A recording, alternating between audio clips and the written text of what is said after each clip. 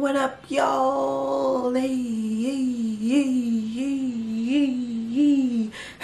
don't know what that was. But hello, how are you guys doing? We're going to be talking about some of my favorite resources to learn Python. So these resources can be for beginners, for more advanced students, intermediate, whatever. These are just great supplemental resources that you can use while you're learning Python. If you can write hello world, hello, hello, you can hello change the world. world.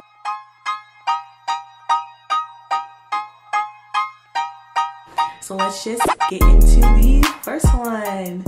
So the first resource that I have used to learn Python has been Runestone Academy. So they have this interactive online book that you can use that's completely free. By the way, all the resources that I will talk about in this video are free. I got you.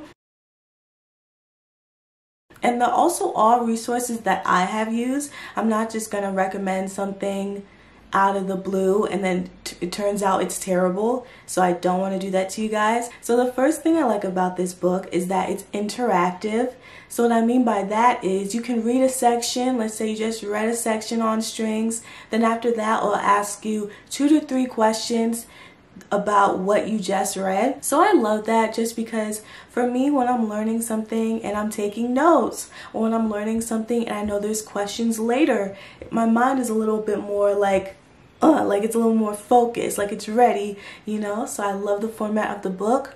And at the same time, it's super clear. The book covers data structures, algorithms, fundamentals of Python and coding and I just highly highly highly recommend this book. It is really great. I read it sometimes just for fun like I like just going back.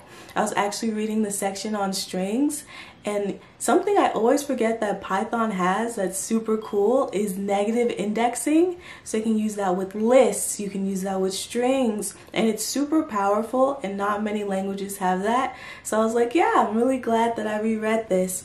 So yeah, Runestone Academy interactive book, A++. So another resource that you can use to learn Python is actually an app. So you know when you're on the go and you have a couple of minutes, this app is perfect. So the name of the app is called Enki, E-N-K-I, and it's honestly amazing. So they have these different brain workouts that you can do, which is basically like 20 minute workouts and it just consists of reading some information and then answering questions kind of like Runestone Academy, except it's like on your phone. And I use this when I'm like waiting in line to get coffee, or if there's just like a dull moment, I just pull it out and I read a quick little snippet. And I'll show you on the screen too. And it's not like they just have Python, they have Java, Git, web development, like so many different concepts and you do these quick workouts every day so you can like enforce what you're learning or you can actually just go back and review. Like that's how I use it. And I've used it for Python and I just think it's great. I love the idea of the app and yeah, it's good to get your daily workouts in so you're staying fresh on what you're learning. So another resource I like using is called Code Signal. I think they used to be called Code Fights, but they're Code Signal now. And what they have is that not only do they have great interview prep, so if you're into interview prep, they have a great section on that. Raining money when you get a question right, so fun but they also have a section on Python. And what I like about this, it's usually like multiple choice questions for Python, but why I like it is that for me, like the level I'm at right now, Runestone Academy and Enki, some of those questions are not as challenging. But when you go to Code Signal, I'm at that point where some of these questions I actually really have to pause and think about it. So I really like that if you want an extra challenge. And then for interview prep, if you're into interview prepping or if you're just practicing questions, Code Signal is a great website.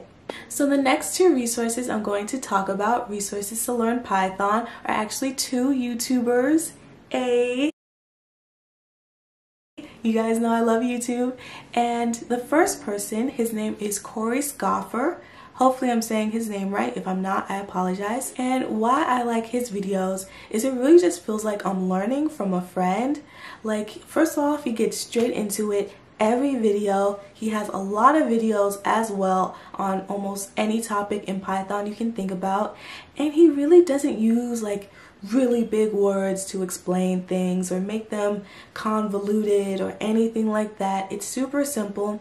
I remember a while ago I was I was struggling with list comprehensions and I was like I'm just going to use my regular for loop like nobody got time for list comprehensions. But after watching his video, I was like, Maya, this isn't hard as, at all, you know?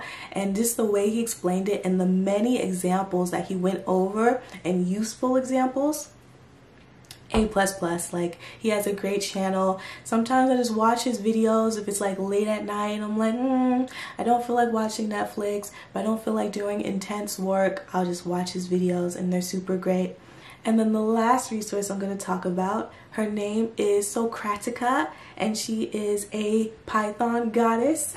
So she's actually a robot and she teaches Python. So she has a lot of different videos as well on different Python subjects. And yeah, she's honestly just great. So at first I wasn't feeling her. I was like, what is this robot type thing? I'm just trying to learn. But it's actually like really engaging. And after a while, I was like, okay, I like your dad jokes, you know, her little nerd jokes. I was like, I'm feeling this. And yeah, she's another great resource again. So I'm not saying like go to their YouTube channels and watch every single video. Like I'm not saying doing that, but I'm like, let's say you're in your online classes, you're at your boot camps, you're in lecture, and there's just this topic that you don't understand, what I would do is I'll look up Corey Schafer variable scoping or like just different things like that. Like it's great supplemental resources. So yeah, that's really it for this video. Hope you guys learned about a resource you did not already know about. In the comments below, let me know what resources you have used to learn Python, whether it be courses from Udemy, paid, not paid, whatever. Let me know what the great resources are out there and I'll check that out. And this can also help other people out as well. So like drop some knowledge in the comments below Thank you guys so much for watching. Have a great day. Make sure you're staying safe, stay home, and I will see you in the next video.